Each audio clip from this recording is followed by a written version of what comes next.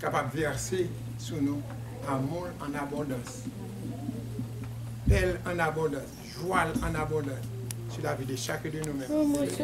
Allez en paix que Dieu vous bénisse. Maranatha.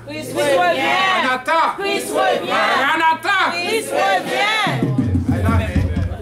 Je vous revois plus tard.